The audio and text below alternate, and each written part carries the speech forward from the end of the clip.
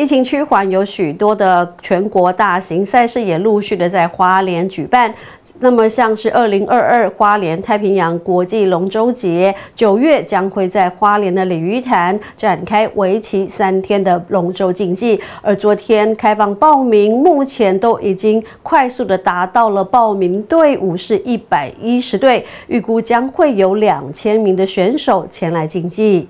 迈入第七届的太平洋龙舟节，由花莲县体育会承办，往年都成功吸引国内外好手来到台湾参加一年一度的国际龙舟赛事。今年才刚开放报名，不到两天的时间，报名队伍就已经达到报名参加的人数。目前报名额满，而且也超过一百队，每个县市都有非常多队伍，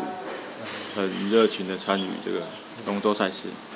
对疫情前的话，其实国外队伍都占了应该有二十队左右。主要因为还是疫情的